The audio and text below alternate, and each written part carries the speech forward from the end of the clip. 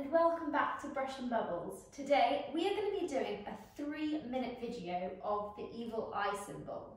So let's get straight to it and I'm just going to talk you through what you will need to create this painting. To start with, just cover up your table with some tablecloth. I'm going to use a small tiny little canvas today for my painting. You'll need a palette to pop your paints on, I've got two brushes, a medium one and then a small pointy one, some kitchen towel, a cup of water and some acrylic paints. For this painting, I'm going to use some white, some pink magenta, blue and black paint. And to start with, all we want to do is paint the background of our canvas a block colour. So I'm going to go for a light sort of pink shade. To create this, I'm just going to pick up my medium brush and move some white paint over to another dish and then add a little bit of my magenta to it and give it a good mix. Once you're happy with your background shade, we're now going to move over to our canvas and we're just going to paint the whole thing with this block colour.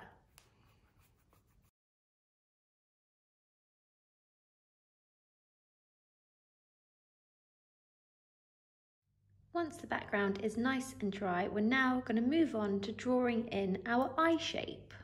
To draw in our eye, we just want to use a small pointy brush and some black paint. So what I'm going to do is just add a few drops of water to my black, just to thin it out slightly and give it a good mix.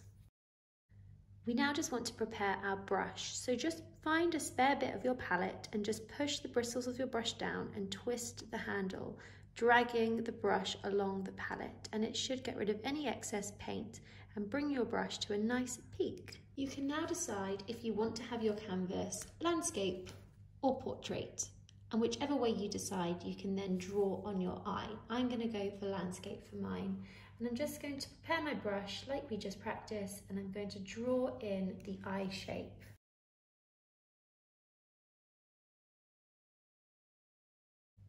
Once you've got the shape of your eye in there, we're now going to draw the pupil.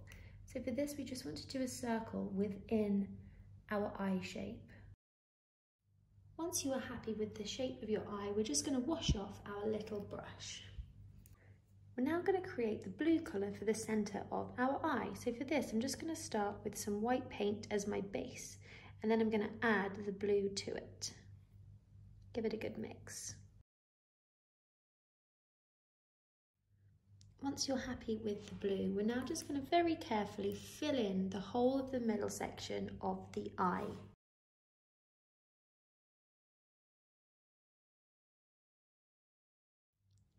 Once you've filled in the centre with the blue, we're just going to wash off our brush again.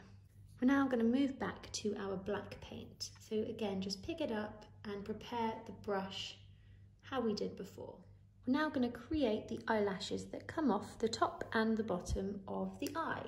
Now these ones don't actually touch the eye, although if you want to you can. I'm just going to give mine a little gap.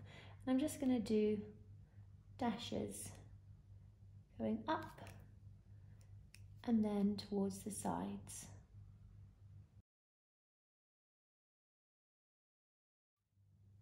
So I've just given my painting a little dry with the hair dryer and the centre is now nice and dry.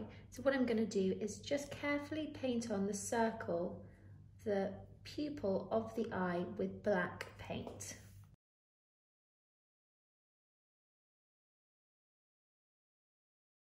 You can just go in and touch up any areas of the black paint that you need to.